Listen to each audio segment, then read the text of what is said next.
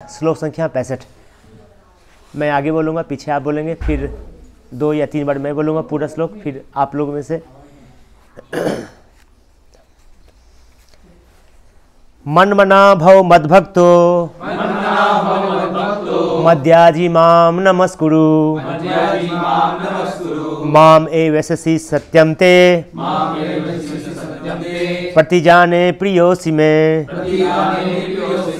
मन मना भव मद्भक्तो। मद्याजी माम नमस्कुरु। माम ए वैससी सत्यम प्रतिजानी प्रियोसि मे। मन मना भव मद्भक्तो। मद्याजी माम नमस्कुरु। माम ए वैससी सत्यम ते। प्रतिजाने प्रियोसि मे। प्रभु जी लोग। मना भव मद्भक्तो। मद्याजी माम नमस्कुरु। माम ए वैससी सत्यम ते प्रतिजाने प्रियोसि मे। मन मना सब मद भक्तो मन मना भव मद्भक्तो। मद्याजी माम नमस्कुरु। माम वैश्यंसी सत्यते। माम सत्यम ते प्रतिजाने प्रियोसि मे। मन मना भव मद्भक्तो। मध्याजी माम नमस्कुरु। मद्याजी माम नमस्कुरु। माम वैश्यति सत्यम ते माम ए वैससी सत्यम प्रतिजाने प्रियोसि मे प्रतिजाने प्रियोसि मे मन्मना भव मद्भक्तो मन मना भव मद्भक्तो मद्याजी माम नमस्कुरु। माम नमस्कुरु। मामे वैश्य सत्यं ते। माम ए वैससी सत्यम ते। प्रतिजाने हि प्रियोसि मे। राजप्रभु मन्मना भव मन मना भव मद्भक्तो मद्याजी माँ नमस्कुरु। मद्याजी माम नमस्कुरु। माम ए वैससी सत्यम ते प्रतिजाने प्रियोसि मे। प्रतिजाने प्रियोसि मे। मन्मना भव मद्भक्तो। मन मना भव मद्भक्तो। मध्याजी माम नमस्कुरु। माम नमस्कुरु। मामे वैश्यसि सत्यं ते माम ए वैससी सत्यम ते प्रतिजाने प्रियोसि मे। प्रतिजाने मन मना भव मद्भक्तो। मद्याजी माम नमस्कुरु। माम ए वैससी सत्यम ते प्रतिजाने प्रियोसि मे। शब्द श्लोक का शब्दों का अर्थ बताऊँगा फिर अनुवाद और तात्पर्य बनाएँगे मद मना मेरे विषय में सोचते हुए। भव। हो। मद भक्त। मेरा भक्त। मदयाजी।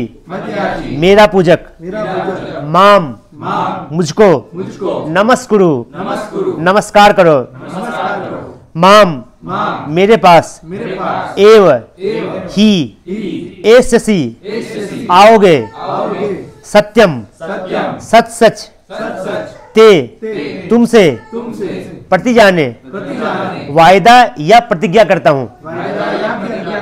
प्रिय हूँ। प्रिय। असी। हो। मैं। मैं। मुझको।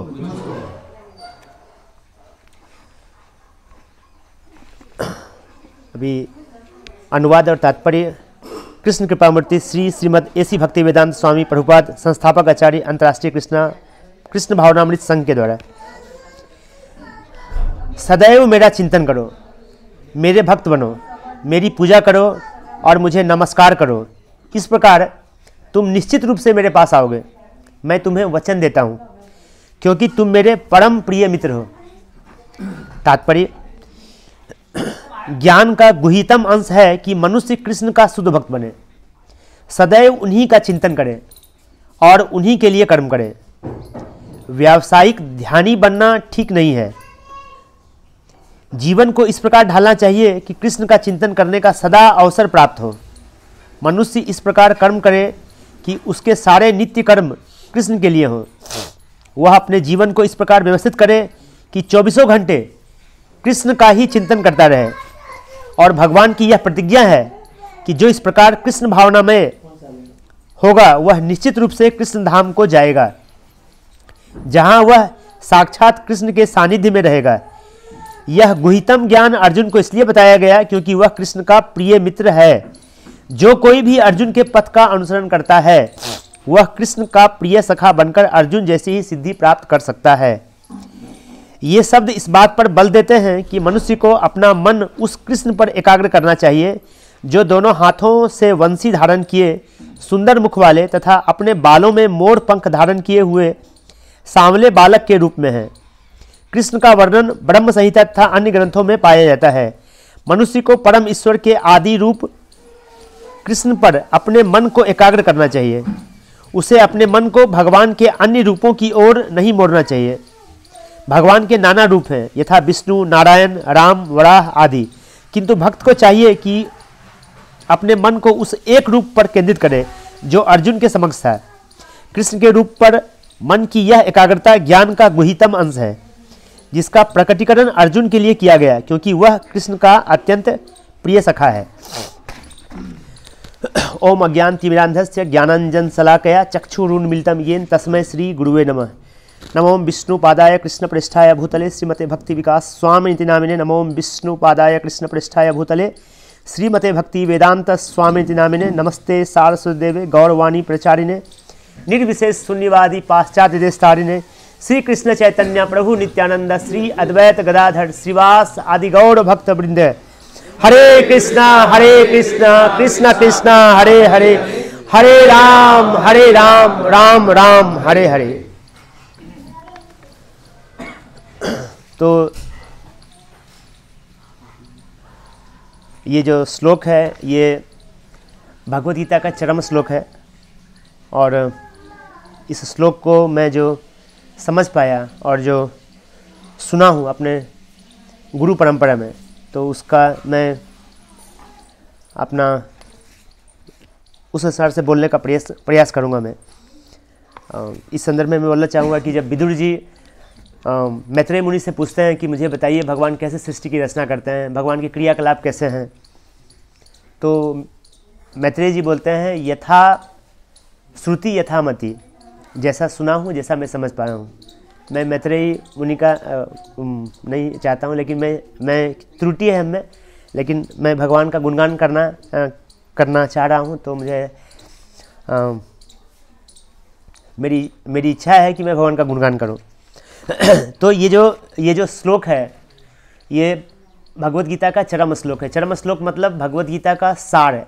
भगवत गीता सारे वेदों का सार है और उस वेदों के सार का सार ये श्लोक है इस श्लोक को भगवान के मुख से कोई शब्द निकलता है, वो साधारण शब्द नहीं होता है, बहुत ही महत्वपूर्ण शब्द होता है। और ये श्लोक, ये भगवान के मुख से भगवता में दो बार निकला है। एक बार कहाँ निकला है? नौवें अध्याय का जब अंत कर रहे हैं भगवान तो भगवान बताते हैं, नौवा अध्याय कौन सा है? गुहितम, परम गुही ज्ञान। परम गुही ज्ञान को जब कंक्लूड कर रहे हैं भगवान तो बताते हैं, मन मना, भव मत भक्त। और जब पूरा भगवदगीता को कंक्लूड कर रहे हैं तो भगवान फिर उसी को लास्ट में ही बोल रहे हैं। इसका मतलब कोई इंपॉर्टेंट चीज़ है। एक और ख़ास बात है भगवदगीता में आपने देखा होगा कि इस मन मना को भगवान ने कई जगह रिपीट किया है। हर एक श्लोक में भगवान ने इसको रिपीट किया है। भगवत गीता के दूसरे अध्याय में भी भगवान ने मन मना बोला है।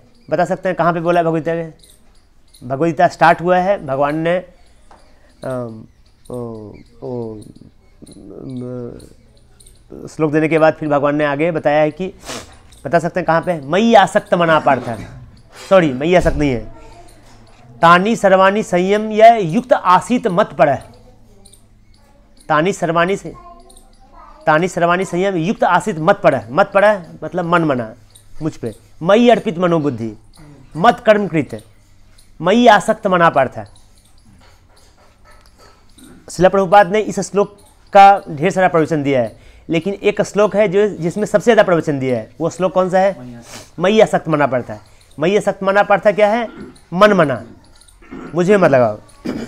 एक बार शिला प्रभुपाद इस श्लोक का प्रवचन देने का देना का शुरुआत किया और जैसे ही शुरुआत किए तो उन्होंने इस श्लोक को जब रिपीट किया है तो उन्होंने व्हाट इज़ द डिफिकल्टी भगवान बता रहे हैं कि आप मेरे पास आ जाओगे आपको क्या करना है? मतलब चार कार्य करना है। सो सिंपल मन मना भव मत भक्तो मध्याजी माम नमस्कुरु। क्या कठिन है? क्या हम भगवान पर मन नहीं लगा सकते हैं? क्या हम भगवान की पूजा नहीं कर सकते हैं? क्या हम भगवान, भव, क्या हम भगवान की भक्ति नहीं कर सकते हैं? क्या हम भगवान को प्रणाम नहीं कर सकते हैं? सिंपल है, हम लोग कहीं जाते हैं, मंदिर जाते हैं तो भगवान को क्या करते हैं? प्रणाम करते हैं। तो इतना सरल उपाय है। तो ऐसा सवाल पूछा जा सकता है कि क्यों फिर वेदों में ऐसा वर्णन है कि जो जो स्पिरिचुअल लाइफ है, आध्यात्मिक जीवन जो है, वो क्षुरस्थि धारा है। क्षुरस्थि धारा, निष्ठा, दुरत्या दुर्गम कथ- पथा तत् कथयो विदंती तो बड़े बड़े जो ज्ञानी लोग हैं, वो बताते हैं कि भक्ति मार्ग है सॉरी स्पिरिचुअल मार्ग है, आध्यात्मिक जो मार्ग है, वो तलवार के धार पे चलने के समान है। तो आचार्य क्या करते हैं? आचार्य उसको सिंप्लीफाई करते हैं। इसलिए जो शिल प्रभुपाद हैं, हमको सिंप्लीफाई करते हैं। हमारी योग्यता नहीं है कि हम आध्यात्मिक जीवन में प्रवेश कर सकें। लेकिन प्रभुपाद बताएँ व्हाट इज़ द डिफिकल्टी और फिर प्रभुपाद ने हमको एक ऐसा व्यवस्था दिया जहाँ पे हमारी ट्रेनिंग की जाती है ट्रेनिंग हो जाती है, हमारी ट्रेनिंग दी जाती है। जिस प्रकार से एक बच्चा जन्म लेता है तो उसके मदर फादर उसको ट्रेनिंग देते हैं। Do this do not this do this do not do this और ये बच्चा सुनते सुनते, समझते समझते एक दिन वो तैयार हो जाता है, उस, उसका कंसिस्टेंस कि ये करना है और ये नहीं करना है। उस प्रकार से हमें एक ट्रेनिंग व्यवस्था दी गई है, जिस ट्रेनिंग के माध्यम से हम इसको समझ पाएँगे। हम कि कैसे हमको हमेशा भगवान का, भगवान में मन लगाना है। भगवान यहाँ पे शिला प्रभुपाद तात्पर्य में बता रहे हैं कि चर्चा करेंगे उस पर कि वो मनुष्य इस प्रकार अपने, अपना कर्म, इस प्रकार कर्म करे कि उसके सारे नित्य कर्म कृष्ण के लिए हों। वह अपने जीवन को इस प्रकार व्यवस्थित करे व्यवस्थित करे कि चौबीसों घंटे कृष्ण का ही चिंतन करता रहे। और भगवान की यह प्रतिज्ञा है कि जो इस प्रकार कृष्ण भावनामय होगा, वह निश्चित रूप से कृष्ण धाम को जाएगा। तो हम लोग कल से यहाँ पे इस टिम्बा गाँव में आए हुए हैं और हम लोग पुस्तक वितरण कर रहे हैं। हमारा मन भगवान पे लगा हुआ है, भक्तों के साथ में है। सवेरे हम लोगों ने बहुत ब्रह्म मुहूर्त में हम लोग जगह हम लोगों ने स्नान ध्यान किया, मंगल आरती किया जप माला साथ में बैठ के किए। तो भगवान ने गारंटी दिया है तो हम लोग क्या करें, यहीं पर अच्छा है।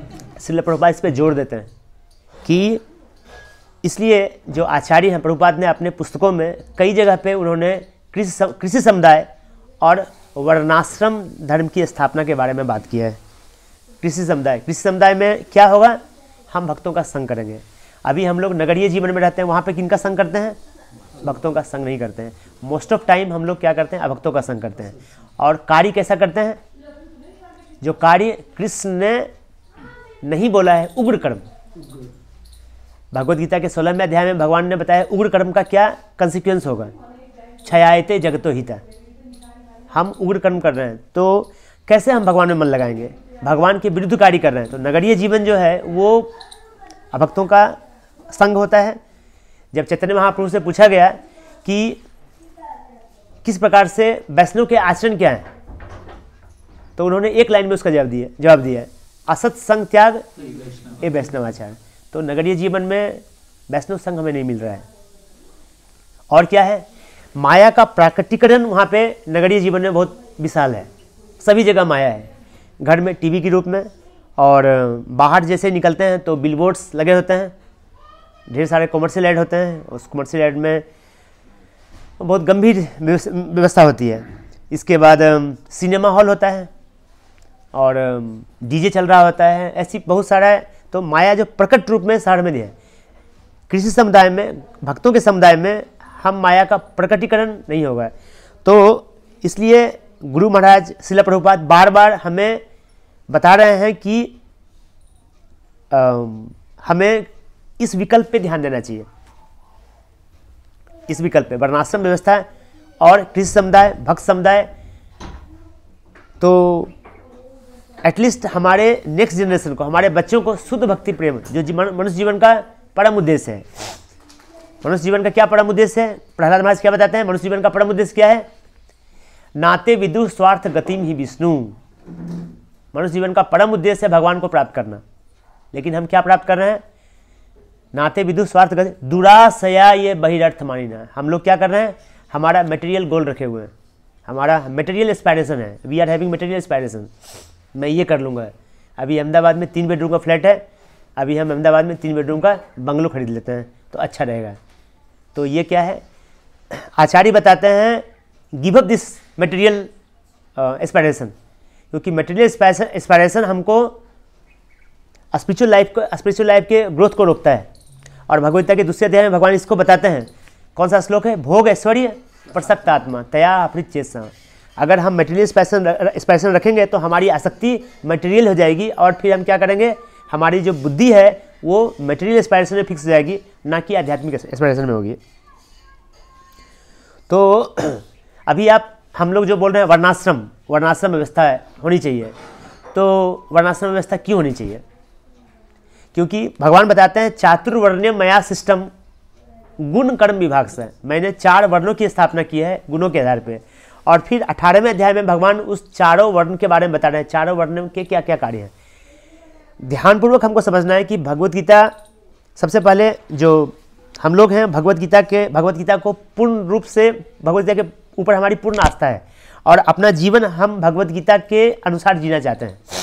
तो भगवदगीता में भगवान बता रहे हैं कि चार वर्ण की स्थापना हमने की है, गुणों के आधार पर ना कि जन्म के आधार पर और फिर उसको फर्दर एक्सप्लेन कर रहे हैं कि उस चार वर्णों के गुण क्या क्या हैं। तो ब्राह्मण के गुण हैं। ब्राह्मण के गुण क्या क्या हैं? समह, दमह, तपह, शौचम, शांतिम, आर्जवम एवं च ज्ञानम, विज्ञानम, आस्तिक्यम, ब्रह्म, कर्म, स्वभाव जय फिर क्षत्रिय के स्वभाव बताए गए हैं और फिर वैश्य के स्वभाव बताए गए हैं। तो क्षत्रिय का, ब्राह्मण का कार्य क्या है कि लोगों को भगवान के बारे में, भगवान के आदेश के बारे में लोगों को जागृत करना है, क्योंकि ये प्लेस जो है, वो क्या है? ये ये प्लेस माया का प्लेस है। तो हम इमीडिएटली भूल जाते हैं। हमको भूलने की बीमारी है तो हम भूल जाते हैं। तो ब्राह्मण क्या होता है, वो हमेशा कैसे करके पठन पाठन, यजन जाजन वो खुद पढ़ते हैं, लोगों को पढ़ाते हैं। पहले जो पहले जो वैदिक कल्चर में ब्राह्मण होते थे, वो शिक्षा देते थे। और जो पढ़ाते थे तो वो पैसा नहीं लेते थे। अगर वो पैसा पढ़ाने के बदले में पैसा ले रहे हैं, इसका मतलब वो ब्राह्मण नहीं है। तो उनका काम था। क्या पढ़ाते थे वो?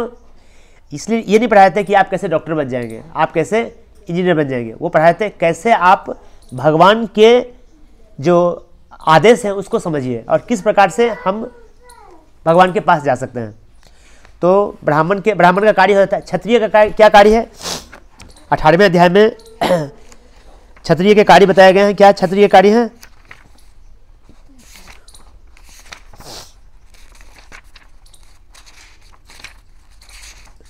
शौर्यम तेजो सौर्यम तेज धृति दक्षम युद्धे च अपि अपलायनम युद्ध से वो डरते नहीं है। अपलायनम मतलब विमुख नहीं होते। हैं उनको मौका मिल जाता है तो उनको लगता है मेरा जीवन सफल हो गया। दानम ईश्वरा भाव। प्रोटेक्शन उनमें होता है। भगवान क्या है? ऑल प्रोटेक्टर हैं। और क्षत्रिय का धर्म, क्षत्रिय का क्या धर्म है? उनमें प्रोटेक्शन की भावना होती है। छात्रम कर्म स्वभाव जन तो समाज को सुचारू ढंग से चलाने के लिए ब्राह्मण सबसे पहले हेड इंटेलिजेंस इंटेलिजेंस क्या है? किस प्रकार से धर्म का पालन हो? हमारे जीवन का केंद्र बिंदु, आधार धर्म होना चाहिए। धर्म के चार पिलर्स हैं, जो भागवतम के प्रथम स्कंद में धर्म के पाल, चार पिलर बताए गए हैं। वो धर्म के चार पिलर कौन से हैं?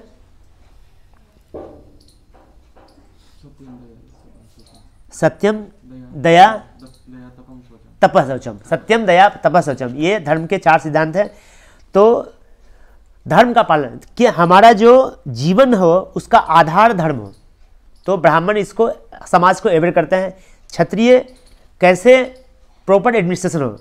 सभी कार्य जो है आपस में कैसे बटाएगा? कौन कार्य क्या करेगा? एडमिनिस्ट्रेशन का जो कार्य होता है, सुरक्षा एडमिनिस्ट्रेशन का पार्ट होता है। तो वो कार्य करेंगे। और फिर आगे आता है, जो व्यावसायिक वर्ग हैं, उनका कार्य आता है कृषि, गौरक्षा, वाणिज्यम। वैसे स्वभाव स्वभावजम। और परिचर्या, आत्मकम, कर्म शूद्र से अपनी स्वभावजम। शूद्र का कार्य क्या है? जो लेस इंटेलिजेंट है। इसका मतलब ये नहीं कि अगर पिता के दो पुत्र हैं तो एक भगवत धाम जाएगा और दूसरा नहीं जाएगा। पिता का या समाज का ये व्यवस्था तो होना चाहिए कि जो इंटेलिजेंट बेटा है, वो भी भगवत धाम जाएगा और जो लेस इंटेलिजेंट है, वो भी भगवत धाम जाएगा। उसके लिए व्यवस्था क्या, किया है, जो लेस इंटेलिजेंट क्लास पीपुल है, वो इस तीनों क्लास को सपोर्ट करता रहेगा। और ये तीनों क्लास क्या करेगा? उग्र कर्म नहीं करेगा। ये तीनों क्लास उग्र कर्म नहीं करेगा। अगर ये तीनों क्लास उग्र कर रहा है तो चौथा सपोर्ट कर रहा है। कई लोग बोलते हैं, कर्म, हम कर्म कर रहे हैं। समझना पड़ेगा पहले कर्म क्या है। आप उग्र कर्म कर रहे हैं या नहीं कर रहे हैं? जैसे एग्ज़ाम्पल के तौर पर हम पेट्रोलियम कंपनी में पेट्रोल धरती से निकालते जा रहे हैं और निकाल निकाल के क्या कर रहे हैं? उसमें समुद्र का खाना, खारा पानी भर रहे हैं। हमको ये जानकारी नहीं है साइंटिस्ट को ये जानकारी नहीं है कि जो आप पेट्रोलियम निकाल रहे हैं उसको रिप्लेस कर रहे हैं खारे पानी से, जब वो जो खा, हो जाता है तो क्या वो जो जिसने भी सिस्टम को बनाया है, क्या वो समुद्र का खारा पानी उसको कंप्लीमेंट कर रहा है? आपने भौतिक दृष्टिकोण से देखा कि वो खाली जगह है, उसको हमने समुद्र के खाना खारा पानी से भर दिया लेकिन क्या जो कंटेंट है पेट्रोलियम कंटेंट है, उसको निकालने के बाद वो क्या कार्य कर रहा है? वो गैस को किस प्रकार से इस, ये प्लानिट्स को फ्लोट करने में हेल्प कर रहा है? वो जानकारी नहीं है। तो हम क्या कर रहे हैं? बस निकाल रहे हैं, निकाल रहे हैं और उसको हम क्या कर रहे हैं? बस खर्च करते जा रहे हैं। किसमें? अपने इंद्रिय भोग में। अगर अगर पेट्रोलियम क्रूड है, उसको अगर हम भगवान की सेवा में लगाते हैं तो वो क्या हो जाता है? वो यज्ञ हो जाता है। लेकिन हम क्या कर रहे हैं? उसको अपने इंद्रिय भोग में। हम जनरेटर चला रहे हैं, फ़िल्में देख रहे हैं, बहुत तरह के कार्य कर रहे हैं। गाड़ियाँ से लेके घूम रहे हैं। कहाँ जाके घूम रहे हैं? तो क्रिसमस मनाने के लिए आ रहे हैं। कहाँ जाएँगे क्रिसमस मनाने के लिए? अभी तीन दिन छुट्टी है तो लोग कहाँ चले गए कोई गोवा चले गए हैं, कोई दीव चले गए हैं, कोई आबू चले गए हैं। सब लोग इंद्रिय भोग में लगे हुए हैं। भगवान ने जो दिया है, जिसको भगवान ने बोला है कि इसको आप अच्छे कार्य में लगाइए तो हम उसको क्या लगा रहे हैं? इंद्रिय भोग में लगा रहे हैं।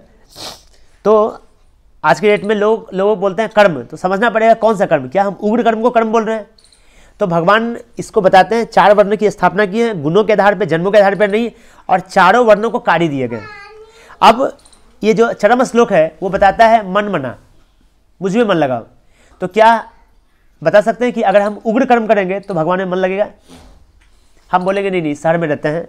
और देखिए हम बैंक में काम करते हैं, हम फार्मास्यूटिकल कंपनी में काम करते हैं, हम जहाँ जहाँ काम करते हैं। तो तो क्या हम स्लाउटर हाउस को फाइनेंस करके, क्या हम भगवान में मन लगेगा मुझे? हमारे पास कोई प्रपोजल अगर आएगा तो हम उसको उसको रिजेक्ट नहीं कर सकते हैं। उसकी हम इकोनॉमिक वायबिलिटी देखते हैं, उसकी स्पिरिचुअल वायबिलिटी नहीं देखते हैं। हम देखते हैं कि उसमें प्रमोटर जो है वो कितना इफिशियंट है। उसका पास्ट रिकॉर्ड कैसा है? तो क्या है? तो हम भगवान बोल रहे हैं, मन को मुझमें लगाओ। और तो ये इसलिए जो आचार्य होते हैं, जो गुरु परंपरा होती है, वो हमें गाइड करती है कि भगवान में कैसे मन लगाया जाए। इसलिए सिले प्रभात बताते हैं व्हाट इज़ द डिफिकल्टी क्या चीज़ है? लेकिन हमको, जब हम समझ, समझते हैं कि प्रभुपाद हमको सिंप्लीफाई कर रहे हैं तो प्रभुपाद की और बातों को भी हमको ध्यान देना होगा कि प्रभुपाद क्यों बोल रहे हैं? कैसे इसको सिंपल बनाया जा सकता है? तो यहाँ पे एक आता है कि भारतवर्ष में हम लोग सभी जन्म लिए हैं और हम देखते हैं कि हम गौ रक्षा पे बहुत बहुत एवर हो जाते हैं। और गौ रक्षक भी हैं। आप जाएँगे तो बहुत सारे गौ रक्षक मिलेंगे और गौ हमारी माता है। तो कैसे गौ की रक्षा होगी? हम अहमदाबाद में शहर में रह रहे हैं। वहाँ पे देखते हैं कि कई सारे सारे वो क्या कहते हैं उसको? उसको पांजरा पोल होता है। पांजरा पोल। पांजरा पोल में गायों को खास करके जो पुरानी मतलब जो ओल्ड गाय हो जाती है, उसको हम रखते हैं वहाँ पे। हम उसके लिए कुछ डोनेशन करते हैं। लोग होते हैं, धार्मिक प्रवृत्ति के लोग होते हैं, जो समझते हैं कि गॉड अच्छा करनी चाहिए तो करते हैं। लेकिन हमको समझना पड़ेगा कि जो भगवान बता रहे हैं, उसका मीनिंग हम लेटर इन स्पीड वाला जाता है। हम किसी चीज़ को लेटर इन स्पीड में लें। जैसे कोई भी कार्य करते हैं, जैसे हम भक्ति कर रहे हैं तो हम भगवान का जो कीर्तन कर रहे हैं, वो हम हृदय से पुकार रहे हैं। तो हम मुँह से बोल रहे हैं, लेकिन हृदय से जोड़ रहे हैं। हम गले से नहीं गा रहे हैं, हम हृदय से गा रहे हैं। तो letter and speed, letter speed का मतलब होता है शब्दों के भाव और उसको समझना है। तो हम लेटर क्या है, गाय की रक्षा करनी चाहिए। हम गए, आज हमारे पिताजी का पुण्यतिथि है, आज हमारा बर्थडे है, हमने पाँच हज़ार एक रुपया, हमने ग्यारह हज़ार एक रुपया, हमने इक्यावन हज़ार एक रुपया, गौसा के, गौशाला के लिए या गायों के लिए गायों के उसके औषधि के लिए, दवा के लिए हमने दिया है। अच्छा लोग बड़ाई करते हैं हाँ गाय रक्षा किए हुए हैं। तो समझना पड़ेगा कि ये जो कार्य कर रहे हैं, वो लेटर में है या स्पिरिट में? है तो अगर इसको गौर से समझेंगे तो लेटर में लेटर का मतलब होता है शाब्दिक अर्थ में। देखो, शास्त्रों में लिखा हुआ है, गौ की रक्षा, देखिए मैं कर रहा हूँ। लेकिन वास्तव में गौ की रक्षा कैसे होगी? एक गाय है, उसका बच्चा जन्म लिया है तो उसके बछड़े को हम निष्क्रिय नहीं रख सकते हैं। अगर निष्क्रिय रखेंगे तो क्या होगा? हम हम उसको खाना नहीं दे पाएँगे। कब तक दे पाएँगे? एक बछड़ा होगा, दो बछड़ा होगा। पूरे भारतवर्ष में अगर लोग गाय रखेंगे, करोड़ों बछड़े होंगे, अरबों बछड़े होंगे। तो सभी को कार्य है। जैसे चार वर्णों की स्थापना है, उसमें ब्राह्मण के कार्य डिफाइन किए हुए हैं क्षत्रिय के कार्य डिफाइन किए हुए हैं, वैश्य के काम डिफाइन किए हुए हैं, और शूद्र के काम डिफाइन किए हुए हैं। बहुत सिंपल सरल बनाया गया कॉम्प्लेक्स नहीं बनाया गया है। ऐसा नहीं कि जो लेस इंजीनियर क्लास पीपल है, उसको हम बता रहे नहीं जाइए, आपको तो पास करना ही पड़ेगा। आपको 90 परसेंट लाना ही पड़ेगा, आपको इंजीनियर बनना ही पड़ेगा। उसमें वो योग्यता नहीं है। समय कम है और लक्ष्य हमको मालूम है। लक्ष्य क्या है? गति भरता भगवान प्राप्त भगवान बोलते हैं, नवे अध्याय में आई एम द गोल गति में हूँ। आई एम द गोल तो गोल हमको मालूम है। समय हमारे पास कम है और हमको क्या किया जा रहा है? पच्चीस साल तीस साल, अभी लोग पैंतीस साल अपना करियर बनाने में लगते हैं। एक जॉब को प्राप्त करने में वो थर्टी फाइव ईयर्स लगाते हैं, फिर भी उनको मालूम नहीं कभी निकाल सकता है वो। ये व्यवस्था है। समाज बहुत है अभी थर्टी फाइव ईयर्स में लोग विवाह कर, महिलाएँ थर्टी फाइव में विवाह कर रही है। मैं एक, कुछ दिन पहले एक महिला से मिला तो मुझे लगा कि वो विवाहित होंगी, लेकिन कुछ बात चला तो बोली नहीं, मैं विवाहित नहीं हूँ। मेरे, मेरी बहन, बड़ी बहन और मेरे बड़े भाई विवाहित नहीं हैं तो बोले अच्छा आपकी भी, आपकी बड़ी बहन है। मतलब मुझे लगा कि वो इसे, वही घर में सबसे बड़े होंगे। क्योंकि तो उनका जो एज था it was appearing on her face तो मैं बोला, फिर मुझे रहा नहीं गया। बोला कि अभी कैसा है? पहले 25 साल के उम्र में विवाह करना चाहिए, फिर 25 साल के बाद विवाह करने का, फिर बच्चे लाने में समस्याएँ होती है ना? डॉक्टर ऐसा बताते हैं कि फिर वो दिक्कत है। फिर आपको पैसा खर्च करना पड़ता है। तो देखिए, कैसे लोग कलयुग में अपने अपने वो बना, बनाते हैं। अपने अपने अपने अपना वो मेंटल को क्वेश्चन प्रभुपात कई बार बोलते हैं मेंटल को क्वेश्चन उन्हें बोला देखिए अभी कलयुग का समय है आप पच्चीस साल में विवाह करते हैं और फिर आपको दस साल में डाइवोर्स देना पड़ता है। तो थर्टी फाइव ईयर्स में विवाह करते हैं दिस गुड अच्छा है बढ़िया है। सो so, ये है मेंटल क्वेश्चन कि हम इस प्रकार से अपने आप को जस्टिफाई करते हैं कि मैं और मेच्योर हो जाऊँगा तो पूरा मेच्योर हो जाइए फिर। विवाह करने की ज़रूरत क्या है? पैंतीस साल में भी मेच्योर नहीं हो रहे तब तो उस प्रकार से, मैं किस किस पे चर्चा कर रहा था, मैं कौन सा पॉइंट था वो? उग्र कर्म तो हाँ तो ये जो गौरक्षा की बात की गई है, हम कई गौरक्षक मिलेंगे आपको। ऐसे गौरक्षक मिलेंगे कि कुछ भक्ति ग्राम से भक्त आए थे, वो गाय ले जाने के लिए यहाँ से। तो वो कांकरेज नस्ल नस्ल की गाय होती है, जिसमें गाय जो होती है, वो भी बछड़ी बछड़ी जो होती है, वो बाद में गाय और अच्छा दूध देती है। और जो बछड़ा होता है, वो बड़ा होकर वो एक अच्छा बैल बनता है, जिससे खेती और और कार्य में लगा सकें। और उसमें कांकरेज गाय की नस्ल में एक खासियत क्या है कि वो ऑल वेदर प्रोटेक्टेड है। मतलब वो क्लाइमेट अगर क्लीमेट क्लाइमेट है मतलब हॉट में ज़्यादा हॉट है और ठंड में ज़्यादा ठंड है, फिर भी वो सस्टेन करती है। उसको ज़्यादा मतलब वो कॉमन नहीं है मतलब वो वेदर को सस्टेन करती है। राजस्थान और वो गुजरात का जो बॉर्डर एरिया है, जो रन, जो सॉरी वो, जो कच्छ वाला एरिया है जो, क्या कहते हैं, वो रेगिस्तान वाला एरिया है, वहाँ पे वो सर्वाइव करते हैं। समझ सकते हैं कि उस प्लेस पे ठंड भी ज़्यादा होता है और गर्मी भी ज़्यादा होती है। तो चिंता ये हुई कि अब जाएगी कैसे? क्योंकि रास्ते में गौरक्षक हैं बहुत और वो ये तो समझना पड़ेगा कि वो अच्छी अच्छा काम कर रहे हैं। वो इंश्योर कर रहे हैं कि गाय को स्लाउटर हाउस में ना लिया जाए। बट समझना पड़ेगा कि हम ये, जैसे कल ही हम पुस्तक वितरण कर रहे थे तो एक व्यक्ति ने बताया कि भाग्य प्रभु ने बोला कि कुछ गौरक्षा के लिए आप दान दे सकते हैं। तो उन्होंने बताया कि ऐसे कि जो स्लाउटर हाउस मेंटेन कर रहे हैं वो तो वो तो हमारे ही लोग स्लाउटर स्लाउटर हाउस मेंटेन कर रहे हैं। तो स्पीड और लेटर लेटर में क्या हो रहा है कि हम गाय की रक्षा कर रहे हैं। गाय घर में आई, उसको एक रोटी खिला दिए। लेकिन समझना पड़ेगा कि जो गाय के, की जो जैसे गाय बड़ी हो गई मतलब वो जब अब दूध देना बंद कर दी तो उसका भी ख्याल रखना पड़ेगा। और जो बछड़ा हुआ है तो बछड़े का क्या काम देंगे?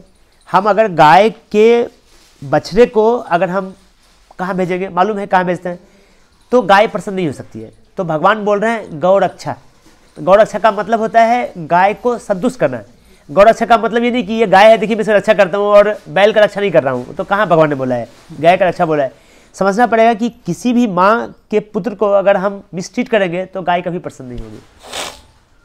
ये भागवतम के प्रथम स्कंद में प्रभुपाद तात्पर्य में बताते हैं कि किस प्रकार से युधिष्ठिर महाराज के समय में गाय गाय के दूध से धरती सिंच जाते थे। इतना प्रसन्न होते थे। गाय इतना प्रसन्न है। और प्रसिद्ध महाराज परीक्षित महाराज भी जब के समय में आता है, गाय बहुत प्रसन्न है। और जब जब वो देखते हैं कि एक व्यक्ति है, वो गाय को दंड दे रहा है तो प्रसिद्ध महाराज उसको मृत्यु दंड देने का प्रयास करते हैं। फिर वो मालूम चलता है कि वो कली है और शरणागति लेता है। परीक्षित महाराज का शरणागति लेता है और वो बोलता है कि नहीं, मैं तो मेरा समय आ गया रहने का। तो मैं आपको मुझे जगह स्पेस देना पड़ेगा। और लेकिन मैं जहाँ जाता हूँ रहने के लिए, वहाँ पे आपके तीर हमारे निशाने पे होते हैं। मतलब प्र- परीक्षित महाराज के समय में कलयुग के कोई प्लेस मतलब कलयुग रह नहीं पा रहा था। तो वो पूछता है कि मैं कहाँ रहूँ? तो कलयुग ये परीक्षित महाराज बताते हैं कि आप रह सकते हैं। कहाँ रहने के लिए बोलते हैं वो? चार प्लेस देते हैं। द्यूतम पाना स्त्रिय सुना। द्यूतम मतलब जहाँ गैमलिंग होता है।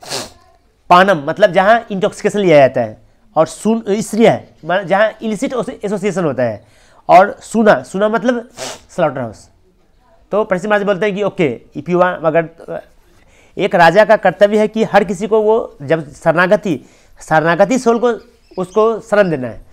जब कलयुग ने प्रसिद्ध महाराज की शरणागति लिया है तो कलयुग महाराज ने बोला कि ओके तो को प्लेस चाहिए तो ठीक है, मैं देता हूँ। ये चार प्लेस में आप रह सकते हैं। तो कलयुग महाराज ने बोला कि फिर तो आप मुझे प्लेस नहीं दे देना क्योंकि कल परीक्षित महाराज के समय में ये चार प्लेस नहीं था। आज जो बड़े बड़े शहरों में भारत भी पीछे नहीं रहा, भारत विकसित देश हो गया अभी तो ये चारों चीज़ें आपको भरपूर मात्रा में मिलता है। लेकिन परीक्षित महाराज के समय में, जिस समय गायों की रक्षा की जाती थी, जिस समय धर्म जीवन का केंद्र था, और उद्देश्य जीवन का था नाते विदु, स्वार्थ गति में विष्णु। तो उस समय ये चार चीज़ नहीं था। फिर जब कलयुग ने बोला कि मेरे पास, फिर इसका मतलब आप मुझे रहने के लिए दे रहे हैं तो फिर उसने रिक्वेस्ट किया और फिर उन्होंने, जैसा माता जी ने बताया, स्वर्ण में। तो गौरक्षा का मतलब होता है कि हमें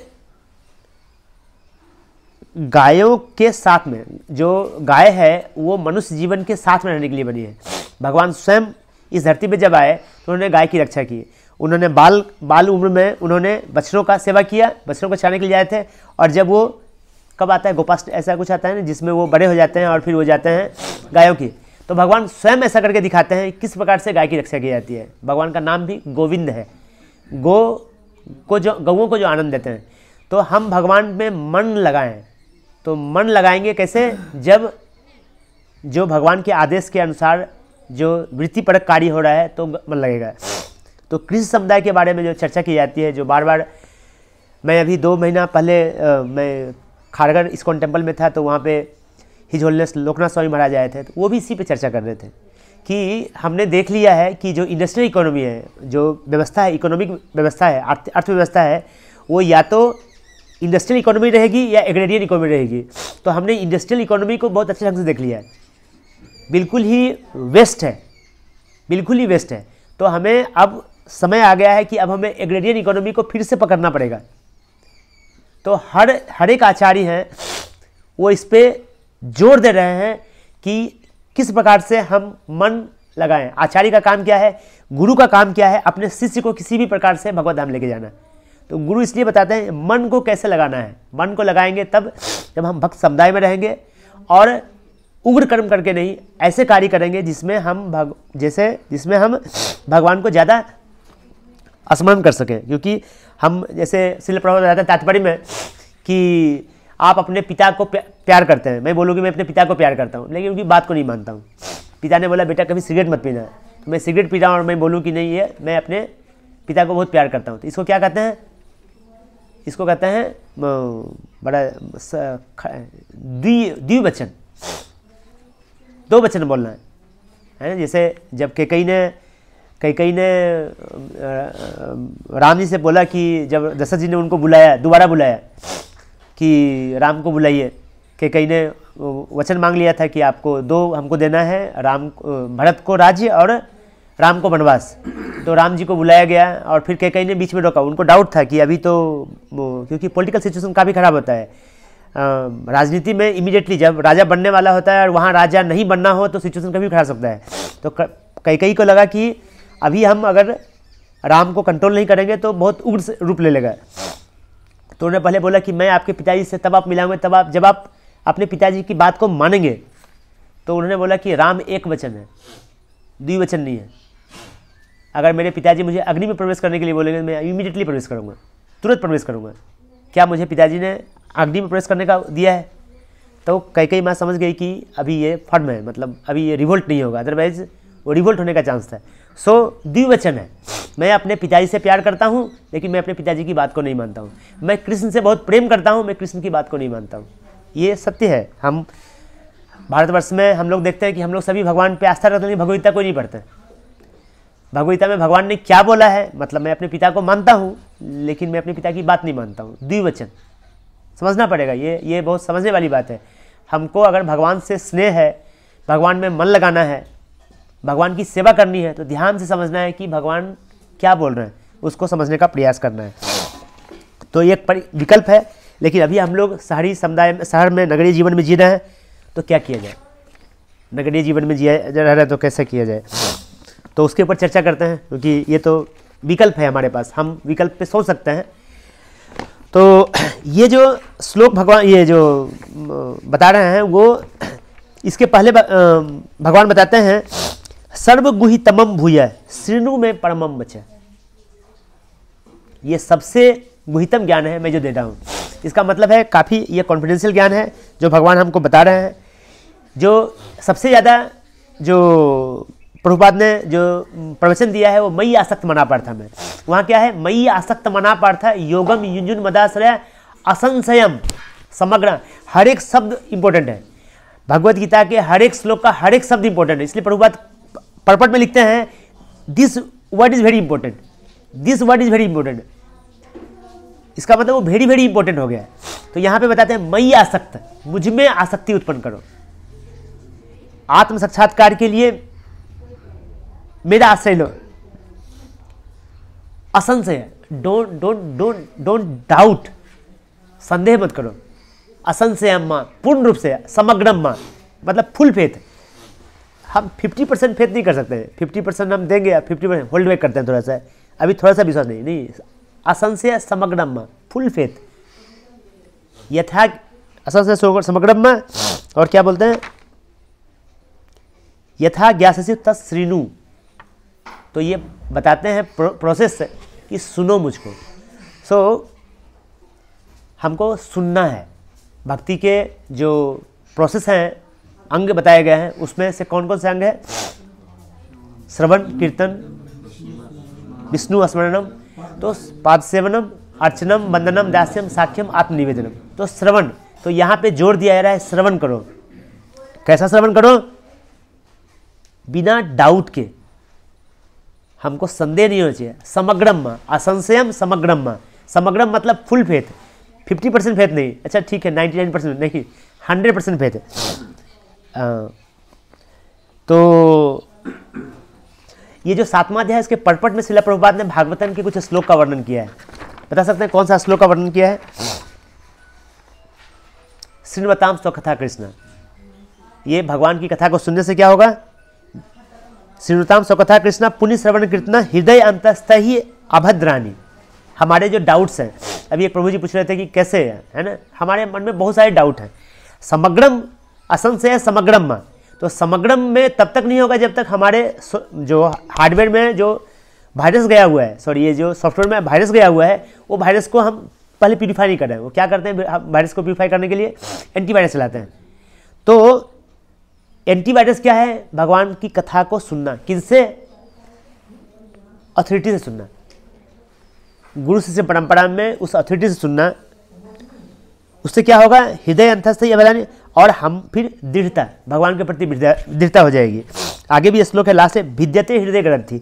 छिद्यंते सर्व संशय छियंते च कर्माणी, दृष्ट एवं आत्मनि आत्मनिष्ठुर है। सो प्रोसेस बताया गया है। अभी क्या है, जो प्रभुपाल बता रहे हैं व्हाट इज़ द डिफिकल्टी भगवान को मन लगाने में क्या डिफिकल्टी है? तो बता रहे हैं भगवान को मन लगाने में डिफिकल्टी कुछ भी नहीं है प्रोसेस को सुनो। सर्टेन रूल्स दिए गए हैं। यहाँ पे रूल्स जो है, वो रूल्स कम्प्लेक्स सिचुएशन को बनाने के लिए गया है। जो रूल्स है रूल्स क्या है? क्या रूल्स दिए गए हैं हमको? हम जब भक्ति मार्ग स्पिरिचुअल लाइफ में आना चाहते हैं, जैसे वेदों में बताया गया है क्षुरसी धारा निस्तम दुरत्य। तो छुरे के धार पे चलना है, लेकिन प्रभुपाद बता रहे हैं what is what is the difficulty तो हमको कुछ प्रोसेस बताया गया है। क्या प्रोसेस है? चार नियमों का पालन करना है। कौन से चार नियम है वो? तो ये चार नियम कहाँ बताए गए भागवतम में? कहीं बताए गए फ़र्स्ट कैंटो में बताया गया है। कौन सा है वो? चार नियम?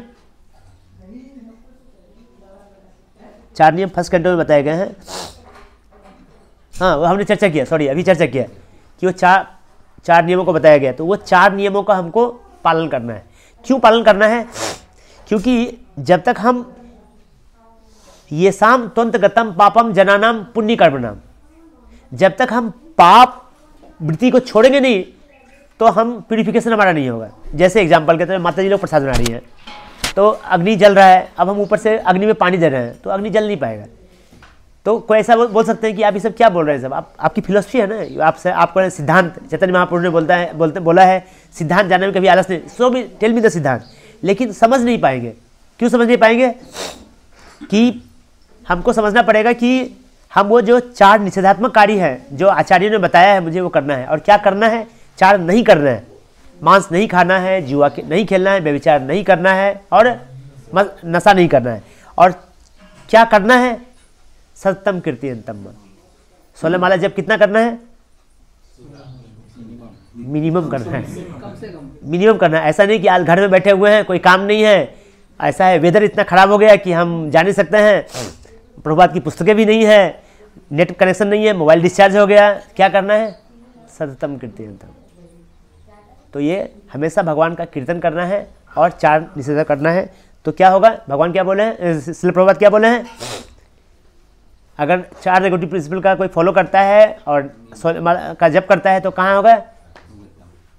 नाते विदुष स्वार्थ गति में। Very is the difficulty Prabhupada ने इसको इसको सिंप्लीफाई किया है। तो ये है हियरिंग का प्रोसेस है ना? हियरिंग का प्रोसेस अभी मन को भगवान में लगाने की जो बात की जा रही है तो वहाँ पे अ, जो मई आसक्त मना पार्था जो बताते हैं तो मई आसक्त मना पार्था सातवें अध्याय का पहला श्लोक है। और सातवें अध्याय का पहला श्लोक जो बोलते हैं इसका मतलब है कि वो छठे अध्याय से उसका लिंग है। तो छठे अध्याय में क्या किस पे चर्चा की गई है? छठा अध्याय कि, किस पे ध्यान योग पे चर्चा किया गया है? ध्यान योगी नाम अपनी सर्वेशम यहाँ भी भगवान क्या बताए? योगी नाम अपनी सर्वेशम मदगतांतर आप आत्मना श्रद्धावान भजते यो माम। देखिए शब्दों में अगर देखेंगे शब्दों में हर एक जगह श्रद्धा समग्रम युक्त युक्तमो मत। मदगतांतर आत्मना। हर एक जगह प्रभुपाद सॉरी वो भगवान है वो बता रहे हैं, मन को कहाँ लगाओ क्यों मन को लगाओ लगाने के लिए बोल रहे हैं mind is wicked mind wicked है। आप लोग यहाँ पे लेक्चर हैं सुन रहे हैं, लेकिन माइंड कहाँ है?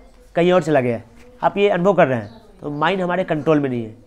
वैसे हमारे कंट्रोल में कुछ भी नहीं है। माइंड तो बिल्कुल नहीं है। हम बोलते हैं कि आई एम द कंट्रोलर हर कोई बोल रहा है I am the controller but जो इसलिए भगवान, ब्रह्मा जी बोलते हैं ईश्वर है, परम कृष्ण ही। इज़ द सुप्रीम कंट्रोलर हमसे कुछ कंट्रोल नहीं माइंड तो कंट्रोल नहीं कर पा रहा है। बैठे यहाँ कहीं चला जाता है। क्या क्या सोच रहा है वो? तो भगवान बताते हैं कि सबसे बड़ा, अर्जुन सबसे बड़ा योगी वो है जो अपने मदगंतर आत- आत्मना जो मे अपने मन अंतकरण में मुझे स्मरण कर रहा है। वो सबसे बड़ा योगी है। आगे भगवान यहाँ पे एक आता है चर्चा कि अर्जुन जब कुरुक्षेत्र का युद्ध स्टार्ट होता है तो अर्जुन बोलते हैं, मैं युद्ध नहीं करूँगा। माई माइंड इज़ डिस्टर्ब यहाँ भी माइंड का प्रॉब्लम है। बोलते हैं माई माइंड इज़ डिस्टर्ब मैं युद्ध नहीं करूँगा। लेकिन अर्जुन की लक क्या था? वो कैसे दोस्त के पास थे? अगर दोस्त रहता, ओके, ठीक है, दोस्त नहीं करो, चलो ठीक है लेट्स हैव ए ड्रिंक चलते हैं, कोई दिक्कत नहीं अच्छा कोई दिक्कत अरे, जो मन करता है करो यार, तुमको युद्ध नहीं करने का मन कर रहा है। वो भगवान के सामने थे और उन्होंने क्या किया? स्वीकार किया, शिष्यम थे हम साधी माम प्रबंधम मैं अब कुछ समझ नहीं पा रहा हूँ क्या करूँ, क्या नहीं करूँ। मैं आपको स्वीकार करता हूँ गुरु के रूप में। यहाँ पे बोलना चाहता हूँ कि अगर समय हो जाएगा तो मुझे बोल देगा मैं। सब एक्चुअली क्या है, ये बहुत बड़ा विषय है तो मैं वहीं पे रुक जाऊँगा। तो कितना समय मेरे पास हो रहा है? कंक्लूड करता हूँ। तो मैं इसको जल्दी से कंक्लूड करता हूँ। तो तो वो बताते हैं कि, म- मदगंधर मदगंधर आत्मना हाँ तो जब वो अर्जुन अर्जुन सवाल पूछते हैं कृष्ण से कि, मैं आपका शिष्य बन, शिष्य बनता हूँ, मुझे बताइए। और फिर आगे भगवान बताते हैं, है ना तानी सर्वाणी सही, युक्त आशित मत पड़ा है। आगे फिर बताते हैं कि मन को मुझमें लगाओ, कैसे मन में लगाया जाता है। तो अर्जुन बोलते हैं कि भगवान, वो मन तो मन तो मैं लगाता हूँ, लेकिन चला जाता है। Goes away mind goes away तो बोलते हैं ओके ब्रिंग इट बैक कौन सा श्लोक है? Bring it back bring it back यदो यदो ही निश्चलती मन चंचलम स्थितम। ततः ततः नियम एतद आत्मनियम। तो पसम नियत कंट्रोल करके फिर से लेके आओ। बोले कोई दिक्कत नहीं मन चला जाता लेके आओ। फिर अर्जुन बोले कि फिर चला गया। तो फिर लेके आ जाओ। तो अब अर्जुन बोलते हैं नहीं नहीं नहीं नहीं नहीं, नहीं पॉसिबल नहीं है। आप जो बोल रहे हैं दिस इज़ नॉट पॉसिबल वायु को कंट्रोल करना हो सकता है पॉसिबल उससे भी कठिन है। मतलब वो अर्जुन बता रहे हैं चंचलम ही मन कृष्णा प्रमाथि बलभद्रम तस्या हम निग्रह मन्य वायु और सदुष्करम। भगवान मन बहुत चंचल है और इसको कंट्रोल करना इम्पॉसिबल है। वायु से भी ज़्यादा कठिन है। तो भगवान बोलते हैं, क्या बताते हैं, क्या श्लोक है, बड़ा इंपॉर्टेंट श्लोक है? असन असंशय महाबाहो मनोदुर भगवान बोलते हैं, सही बोल रहे हो। मन जो है, वो बहुत ही चंचल है। म- असंशय महा मनोगुण तस्या हम निग्रह मन्य वायु से दुष्करम सॉरी नहीं नहीं। ये क्या श्लोक है? असंशय महाबाहो मनोदुर्चलम क्या है आगे? अभ्यासेन तु कौनते ये वैराग्यन चुके भगवान अब क्या बताते हैं? टेक्निक क्लू दे रहे हैं। सीक्रेट मन को कंट्रोल करने का सीक्रेट दे रहे हैं। अभ्यासेन। प्रभुपाद हमको क्या दे? प्रभुपाद हमको क्या दे रहे हैं? प्रभुपाद हमको दे रहे हैं। सीक्रेट बता रहे हैं। क्या करना है? चार करना है। और प्रभुपाद की पुस्तकों को पढ़ना है, माला का जप करना है, किसी भी प्रकार से सेवा में जुड़ना है। तो यहाँ बता रहे हैं अभ्यासन। अभ्यासन का मतलब होता है जो हम हम अंतर्राष्ट्रीय कृष्ण भावना संघ में जो हम देखते हैं, किस प्रकार से भक्तों को इंगेज किया जाता है। यहाँ भगवान उसका आदेश दे रहे हैं, अभ्यासेन दुकंते है और क्या होगा? वैराग्यन च गृहित। वैरागी का मतलब क्या होता है? मोस्ट ऑफ़ अगर अभी अब समाज में बात करें वैरागी का मतलब होता है कि वो कपड़े बदल लिया और अभी ठंडा है तो ठंडे प्रदेश में ठंडे टाइम में वो बिना कपड़े के घूम रहा है। उसको वैराग्यन कहते हैं। नहीं, एक गृहस्थ भी वैरागी हो सकता है। अगर उसने अपने जीवन का उद्देश्य भगवान को प्रसन्न करना रख लिया। एक गृहस्थ की ज़िम्मेदारी होती है, क्या ज़िम्मेदारी होती है? फैमिली एंड सोशल रिस्पॉन्सिबिलिटी होती है। लेकिन अगर उसने गोल फिक्स कर लिया कि मैं किस प्रकार से कृष्ण को प्रसन्न करूँ, मैं किस प्रकार से कृष्ण की सेवा करूँ तो वो क्या कहलाएगा? वो एक सन्यासी कहलाएगा। यहाँ पे क्लू दे रहा है। एक जगह और भी क्लू देते हैं भगवान। भगवान एक जगह और भी क्लू देते हैं। कि ये श्लोक जो है अभ्यासन तु अभ्यासन तु कौन है? अभ्यास वर्ड एक जगह भगवान और भी बोलते हैं। कहाँ बता रहे हैं भगवान? अभ्यास युक्त एक जगह बताते हैं भगवान की, तस्मात सर्वेशु कालेशु माम अनुस्मरण युद्ध च। मनोबुद्धि। भगवान बताते हैं, कोई दिक्कत नहीं है। तुम बस अंत काले चा माम स्मरण को स्मरण मुक्त कल्याणम। यम या, यम यम वापी स्मरण भावम। बताते हैं कि देखो, जो जिस भाव में शरीर त्याग करता है, उस भाव में जाएगा। अगर जो व्यक्ति मेरे भाव को त्याग करेगा मेरे पास आएगा। और बताते हैं कि ओके ठीक है अर्जुन इतना सुन लिया बढ़िया है। चलो तस्मात सर्वेशु कालेशु माम अनुस्मरण युद्ध तो यहाँ पे आचार्य पैराफ्रेज करते हैं। भगवान आ, भगवान संवाद किए हैं और अर्जुन के मन में संदेह आता है। कभी कभी जब वार्तालाप होती है तो वार्तालाप शब्दों से नहीं होता है। सर्टन जब ये अर्जुन क्योंकि तस्मात सर्वेशु कालेशु माम अनुस्मृति मई अर्पित मनोबुद्धि मई मई अर्पित मनोबुद्धि माँ में से संशय यहाँ भी वही है। संशय करने के लिए बोलते हैं। तुम युद्ध करो, मुझे मन स्मरण करते हुए।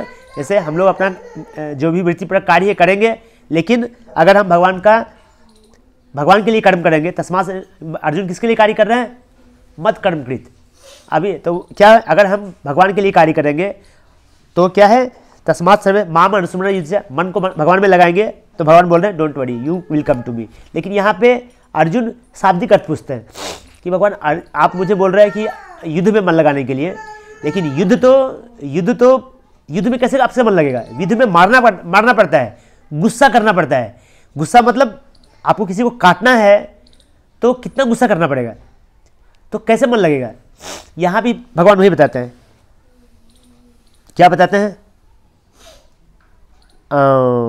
अभ्यास योग युक्त ना चेतसा ना अनिगामी ना अभ्यास से संभव है। दुर्गम पथ जो है, वो अभ्यास से सुगम बन जाएगा। ये ये भगवान भी बता रहे हैं। क्यों भगवान बता रहे हैं? भगवान कैसे हैं? कैसे गुरु हैं? भारी गुरु। भारी गुरु का मतलब क्या होता है? वज़न में जो भारी हो। नहीं, भारी गुरु का मतलब होता है कि जो आपके संशय को दूर कर दे। आपके संशय को दूर कर दे। मेरी जब दीक्षा होने वाली थी तो प्रभु जी भी थे टेलीकॉन्फ्रेंस में तो स्वामी साची प्रभु ने पूछा कि क्यों आप भक्ति विकास स्वामी महाराज से दीक्षा लेना चाहते हैं? तो मेरे मुँह से ये निकल गया कि वो भारी है। तो उन्होंने बोला कि इसका मतलब तो मैं मतलब समझ रहा था, लेकिन एक्सप्लेन नहीं कर पा रहा था। मैं मैं बोला कि मतलब ये है कि मैं उनके सामने बहुत फीका फील करता हूँ। मैं, ऐसा लगता है कि मैं बहुत इम्प्रेस होता हूँ। तो लेकिन मतलब बोले तो कोई भी हो सकता है। मतलब भारी का मतलब होता है कि जो आपके संशय को खत्म कर दे। जो आपके संशय आपको संशय कर दे और आपको सही जगह से खींच ले, उसको भारी। तो अर्जुन क्या है? अर्जुन भारी गुरु के सामने और अर्जुन बता, वो भगवान बता रहे हैं कि कठिन है इम्पॉसिबल नहीं है। और तुम अभ्यास से हो सकता है। अभ्यासेन तो कौनते ये? वैराग्य सॉरी अभ्यासेन, अभ्यास योग युक्त ना चेतसा ना अनुगामी परमम पुरुषम दिव्यम याति पार्थ अनुचिंतन यहाँ भी वही बोल रहे हैं। परमम पुरुषम दिव्यम याति पार्थ अनुचिंतन तो ये है ये सब्जेक्ट काफ़ी लंबा है। इसको कंक्लूड करें। तो ये चीज़ है। तो सर्टेन टेक्निक है। टेक्निक कैसा है कि हमको सीक्रेट क्या है? अभ्यास करना है। एक चीज़ जो खास मैं बात करना चाहता हूँ कि अभी हम लोग आए हुए पुस्तक वितरण करने में और आनंद गोविंद प्रभु, आनंद गोविंद प्रभु हैं या जितने भी आचार्य हैं, जितने भी आचार्य हैं, शिला प्रभुपाद शिला प्रभुपाद के जितने शिष्य हैं और शिला प्रभुपाद के जो गुरु महाराज हैं शिला, भक्ति सिद्धांत सरस्वती ठाकुर, भक्ति विनोद ठाकुर, सभी पुस्तक वितरण पे चर्चा करते हैं कि पुस्तक वितरण किया जाए, पुस्तक वितरण करना चाहिए। तो इसमें सीक्रेट मैं बता सीक्रेट है कुछ। तो क्या सीक्रेट है? पुस्तक वितरण में क्या सीक्रेट है? कोई बताएँगे? पुस्तक वितरण में सीक्रेट क्या है? हम लोग पुस्तक वितरण करते हैं। क्या सीक्रेट है पुस्तक वितरण में? मतलब हम प्यूरिफाई होते हैं। जी। और भगवान के संपर्क में वो हम भी आते हैं और हम भी समझने लगते हैं और जीव को भी मौका मिलता मौका है मिलता है। के संपर्क में। जी बिल्कुल सही। तो सीक्रेट यही है कि हमारा मन कहाँ लग रहा है? जब हम इस पुस्तक को हाथ में लेते हैं इस पुस्तक को हाथ में लेते हैं और उनको बोलते हैं देखिए आज गीता जयंती है आप भगवान श्री कृष्ण हैं ये अर्जुन को ज्ञान दे रहे हैं। आज ही के दिन भगवान ने अर्जुन को ज्ञान दिया था। तो हमारे हाथ में कौन है? कि, किसको हम दे रहे हैं? प्रयास कर रहे हैं? हम हम कृष्ण उसको देने का प्रयास कर रहे हैं। और सीक्रेट क्या है? The more you give Krishna to others the more you will get Krishna this is the secret जितना हम, ये ये हमको समझना है। हमको ये समझना है कि हम कितने शुद्ध भक्त बन रहे हैं। हम, ये नहीं कि अब मेरा, मैं अभी, मेरा अभी प्रगति नहीं हो रहा है। मुझे और शुद्ध भक्ति करनी है, शुद्ध भक्ति करनी है। इसका मतलब इस पे ध्यान नहीं देना है। इसको, इस आइडिया को पहले गिव करना है कि मेरा कितना प्रोग्रेस हो रहा है, मेरा कितना प्रोग्रेस है। उस आइडिया को हमको रिड्यूस करना है। इसका मतलब ये नहीं कि हम, ठीक है, मैं जब माला नहीं करता हूँ। नहीं, हमको साधना करना है, पुस्तकों को पढ़ना है। अभी हम लोग सभी क्या है न्यू फाइट स्टेज पे हैं तो हमको साधना करना है, पुस्तक ध्यानपूर्वक लेक्चर को सुनना है, भक्तों का संग करना है। लेकिन ये ध्यान रखना है कि दूसरे को कैसे भक्त, कृष्ण से जोड़ रहे हैं। हमको कृष्ण को दूसरे को देना है। हमको ये ध्यान देना है कि दूसरे को जोड़ना है। ये आइडिया कि हमारा, हम कितना आगे बढ़ रहे हैं, उससे ज़्यादा है कि नहीं, हम कृष्ण कितने को दे रहे हैं। तो सीक्रेट है, ऐसे कई सीक्रेट हैं। एक सीक्रेट है कि हमको समझना है कि हम बच्चे के स्तर पे हैं लर्निंग स्टेज में हैं। तो जिस प्रकार से एक बच्चा जो होता है, बहुत जल्दी पिक करता है, क्योंकि वो लर्निंग स्टेज में होता है, वो सबमिसिव नेचर का होता है। सबमिसिव नेचर का होता है। हम लोग क्या है, उम्र के बाद सबमिशन नहीं है। सबमिशन नहीं है तो हम प्रोग्रेस नहीं हो पाए क्योंकि हम लोग सभी क्या हैं, इस भक्ति मार्ग में न्यू फाइट स्टेज पे हैं। तो हमको ये समझना पड़ेगा, हमको सबमिसिव नेचर रखना है तो हम जितना सबमिसिव नेचर में रहेंगे तो उतना हम सीखेंगे।